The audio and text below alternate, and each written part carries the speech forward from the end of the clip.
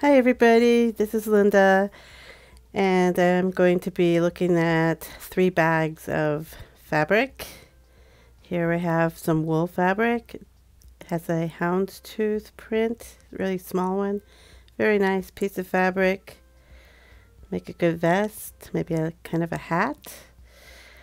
And this is also wool fabric here. Very nice plaid print or plaid weave. And this is some knit fabric. Would be good for a polo shirt. Um, as you can see the design is um, knitted into it. So it's not a printed fabric. It kind of has a nice holiday vibe to it.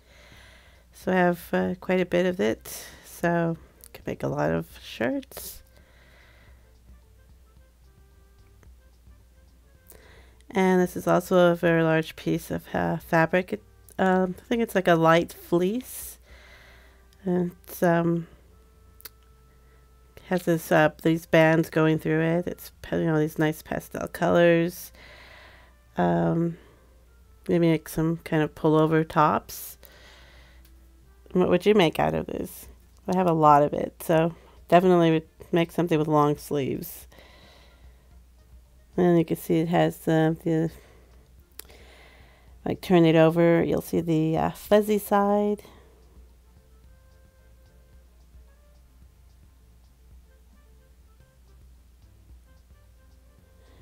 So, any ideas or suggestions what to do with this large piece of fabric?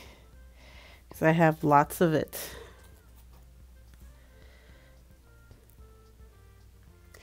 I that's always the problem when you come across all these pieces. What do you do with it all? So that's my dilemma here. So bag two, kind of an assortment of um, wovens and uh, linings. So this is a really um, pretty print here. Um, a good, a good fabric. It's a good fabric for a blouse. Um, it has also a kind of a nice, um, a texture besides the print. There's a texture to it. not really sure the name of this fabric. So something I need to research. This is also a woven fabric. It's has a really nice drape.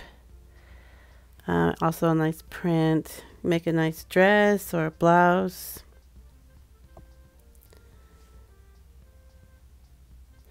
And also has kind of an interesting texture to it also. And once again not sure um, what this fabric is called but it is a woven fabric you can tell by the selvage so you can see how well it drapes. Something with a cowl neck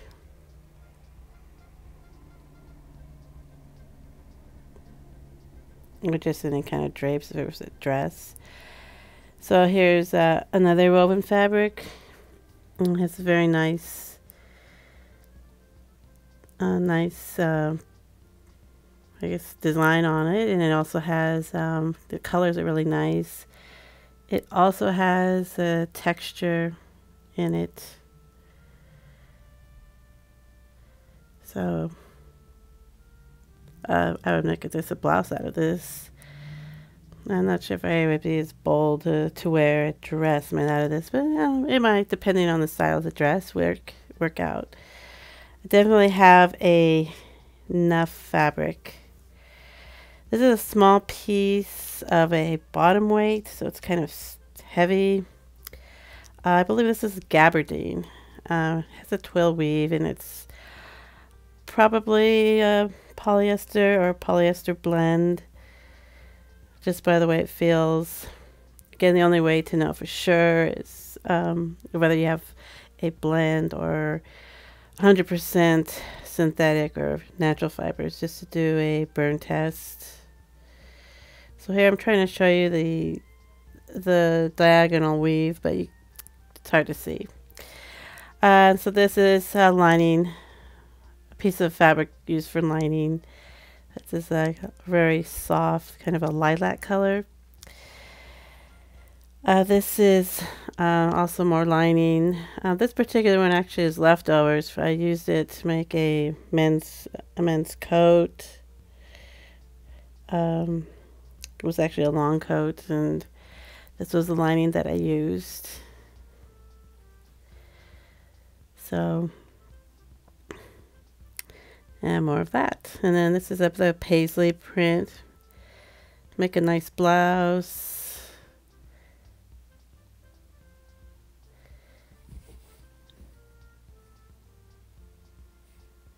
And what would you do with this? Make a blouse too? So we'll see um, what you have to say about it. And this is broadcloth. So good, a good lining also. So if you do any kind of crocheting, like, make handbags, uh, that would make a good lining. And this is not broadcloth, but it's also lining. So, mm, for jacket vest. Here is some really vintage fabric. Uh, it has a seersucker um, finish to it, texture. I have a lot of it. What would you make out of this? It is most likely um, cotton fabric, you know, cotton fiber.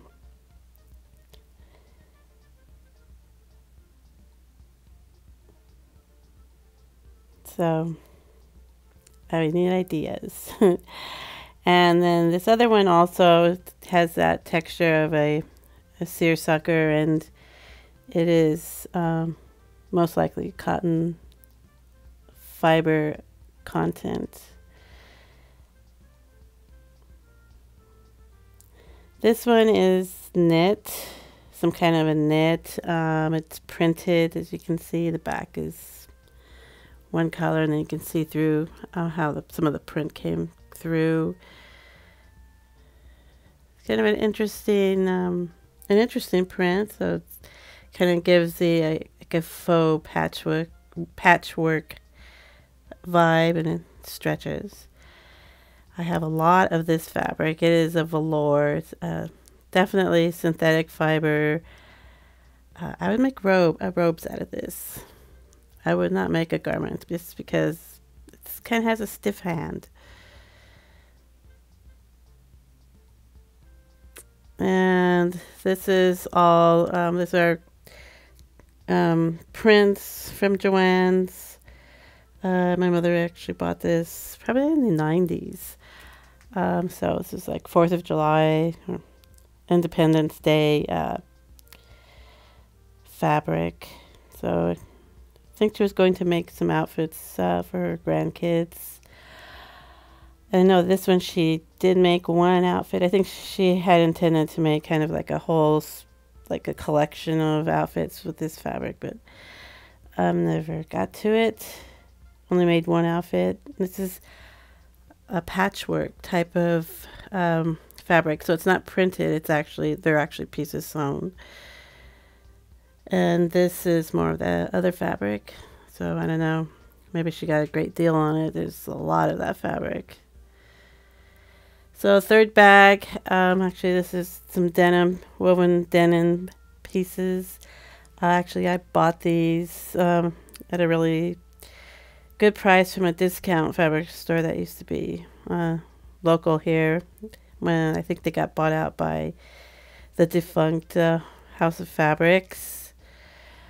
So I, I was going to make a kind of like a little outfit. So I was going to have a skirt. So I was going to make the uh, that short skirt view A out of one of the fabrics. I think it was going to be the small flower print, floral print, and then this jacket with the uh, the two different fabrications. I was going to use um, one fabric, one of the denim fabrics, and um, the other denim fabric. So actually maybe those two pieces were going to be, I really don't remember so long ago. Um, and then I found I have pieces, pattern pieces in there. So this, the, the pattern pieces in there are the yoke and the collar from the jacket. So I guess that's what I was going to do with that particular piece. So, yeah, bad habit of mine putting patterns inside fabric. So, yeah, so this black, the yoke and the flaps of the pockets would have been that fabric. And I'm guessing the rest of the, the red part, um, so the collar, yeah, I guess the collar, the sleeves, and the, the lower part of the jacket would be the the other fib the other fabric. And so now I'm kind of puzzled. So I guess then maybe this large floral one was going to be the skirt. So I, I, I don't remember. And I think inside I found a pattern, which was not the skirt. It's actually, and it's not even from that any of those either of those patterns. It's some pants uh, or some leggings actually. I think it's a legging pattern. Um, so I looked up the uh, pattern because I don't remember what it's what it was. So luckily now, if you don't know, you have a pattern name and a number, you can look it up and maybe kind of find it because the companies did reuse numbers over the years. So uh, went ahead and looked it up, and out of all the different patterns I saw, there was one that I know I have that pattern, so I'm guessing it was this one. So this was the top. Actually, I did make that top back in I think it was the 80s. So a lot of big size, oversized shirts.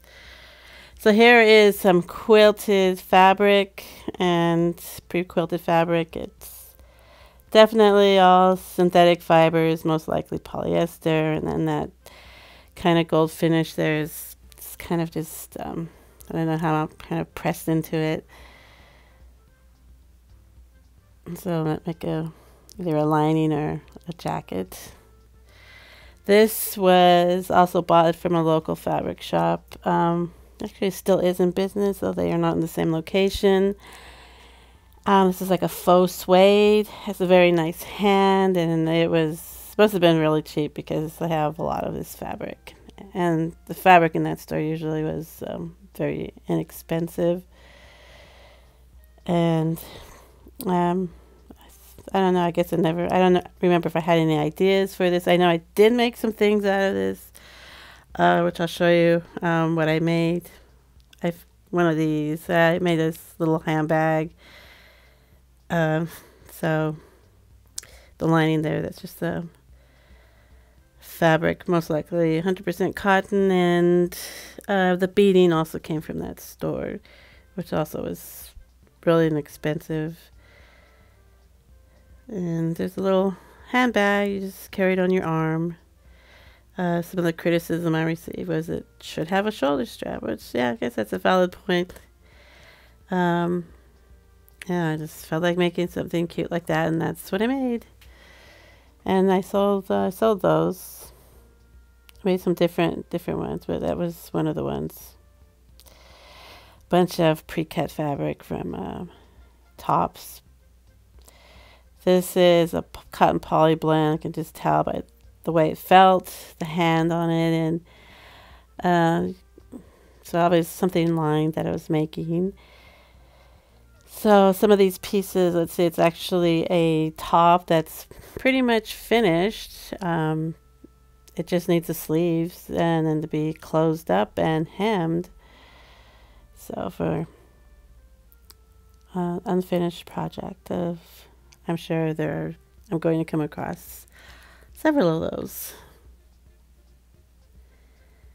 And so this is some more tops pieces, pieces of the top. This is a kind of a muslin. And there's another piece um, of muslin, and that's it. So that's it for now. So these are the three bags that I've now reorganized.